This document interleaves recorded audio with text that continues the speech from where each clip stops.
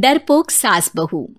जिगर और बलराज अपने अपने ऑफ़िस के लिए निकल जाते हैं जिसके बाद तानिया और उसकी सास घर के काम में बिज़ी हो जाती हैं। तभी रसोई में से तानिया के चिल्लाने की आवाज़ आती है। माँ बचाओ रे। उश, उश, उश, भागो यहाँ से। तानिया की आवाज़ सुनकर उसकी सास भी वहाँ आ जाती है। अरे क्या हुआ? और इस तरह स्लैब पर चढ़कर क्यों बैठी हो? उस छिपकली की वजह से। है? छिपकली? अरे कहाँ है छिपकली? ऐसा बोलते हुए तानिया की सास भी डर कर स्लेब पर चढ़ जाती है। अरे जब इन छिपकलियों को घूमने के लिए हमने दीवार और छत दी है फिर ये हमारे घूमने की जगह पर क्यों उतर आती है? मुझे क्या पता? सामने बैठी है। आप ही पूछ लो ना। साथ में भगा भी देना। इस पर सास डरते हुए स्लेब पर बैठी बैठी ही छिपकली को भगाने की कोशिश करती है। हुश हुश हुश। अरे जा अरे जा ना वापस अपने घर जा। सासू माँ छिपकली है कुत्ता नहीं। अरे हाँ हाँ छोटी सी ही सही छिपकली तो है। आ, तो तुम ही भगा दो ना।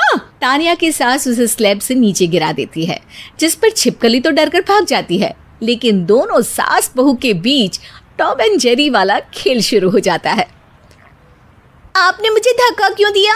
मुझे कुछ हो जाता तो अगर वो मुझे खा जाती तो। अरे छिपकली थी डायनासोर नहीं। हाँ सिर्फ़ छिपकली ही थी और आपको उससे डर नहीं लगता तो खुद क्यों नहीं भगा दिया? अरे तेरे होते हुए अगर मुझे काम करने पड़े फिर बहू होने का फ़ायदा क्या है? इसी तरह सुबह से शाम हो जाती है। जिगर और बलराज भी ऑफ़िस से घर वापस आ जाते हैं। लेकिन सास बहू की तू तू मैं मैं खत्म नहीं होती। हम्म आज इस सभा का मुद्दा क्या है? मम्मी ने मुझे छिपकली के सामने फेंक दिया। अरे वाह मेरे डरपोक!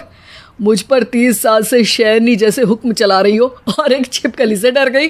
इस पर दोनों बाप बेटे हंसने लगते हैं जिसे देखकर सास बहू एक दूसरे की शक्ल देखते हुए अब अपनी लड़ाई भूलकर उनसे लड़ना शुरू कर देती हैं। अरे आप ना ज़्यादा बत्तीसी ना दिखाओ नहीं तो शेरनी के एक पंजे से बत्तीस के बत्तीस दांत बाहर निकल आएँगे। अपनी माँ की इस बात पर अब जिगर अपने पापा को देखकर हंसने लगता है। अरे क्यों पापा आ गया स्वाद। अभी आपको भी आएगा स्वाद। इस पर घर में सास बहु ड्रामा बंद होकर पति पत्नी नौटंकी शुरू हो जाती है, जिस पर तानिया से कहा सुनी के बीच जिगर अचानक चिल्लाते हुए कहने लगता है, कॉकरोच, इतना बड़ा कॉकरोच, हे भगवान, अब हमें इससे कौन बचाएगा? कॉकरोच का नाम सुनते ही दोनों सास बहू सारी लड़ाई भूलकर फुदक से कूद कर पास रखे सोफे पर चढ़ जाती हैं। अरे कहाँ है? अरे कहाँ है? कम वक्त। अरे उसे भगाने की जगह अनाउंसमेंट तो ऐसे कर रहा है, जिससे बारह चालीस की आखिरी लोकल है छूटनी नहीं चाहिए। अरे भलाई का तो ज़माना ही नहीं है। ठीक है भाई, अब मैं आपको बिल्कुल भी नहीं बताऊँगा कि आपके पीछे भी एक बहुत बड़ा कॉकरोच बैठा है। जिगर की बात पर एक बार फिर दोनों डर से उछल जाती हैं। जिसके बाद जिगर और बलराज इसी तरह कभी कॉकरोच तो कभी छिपकली का नाम लेकर उन्हें परेशान करते रहते हैं। अगली सुबह। ये दोनों हमारे डर का ऐसे मज़ाक बना रहे थे जैसे खुद कभी किसी चीज़ से ना डरते हो। ये जिगर ना बचपन में तो चींटी से भी डर जाता था। पर मम्मी उन्हें डराने के लिए मैं चींटी तो नहीं पकड़ सकती। अरे पागल औरत! इतना बड़ा होकर क्या वो चींटी से डरेगा? हम्म मतलब हमें बदला लेने के लिए कुछ अलग सोचना पड़ेगा।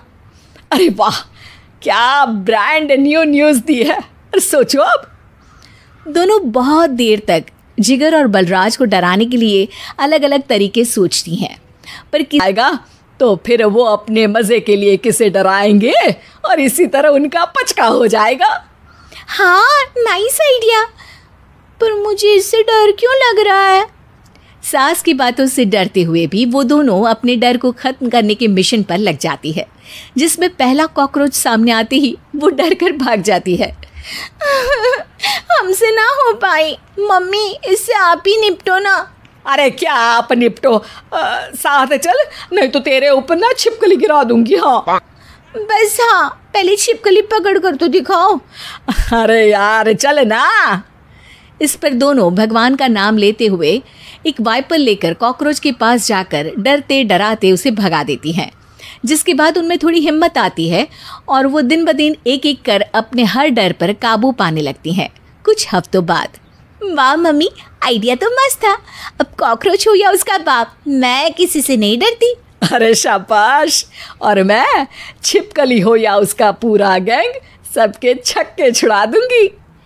हम्म पर मम्मी जी उससे पहले किसी को सबक सिखाना है। उसी रात जब बलराज और जिगर टीवी देख रहे होते हैं तो दोनों सास बहू प्लान बनाकर छुपके से उन पर नकली छिपकली और कॉकरोच फेंक देती हैं।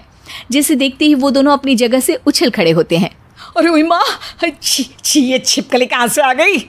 ओह अब इस कॉकरोच को मेरे ऊपर से हटाओ ना। अरे क्यों बेटे? कैसे माँ याद आ गई? जब माँ को डर लग रहा था तब तो बहुत खिल्ली उड़ा रहे थे। ससुर जी कॉकरोच से तो हम जैसे डरपोक डरते हैं। फिर आज आपको क्या हुआ? दोनों हंसने लगती है। जिससे जिगर और बलराज को भी उनकी गलती का एहसास होता है।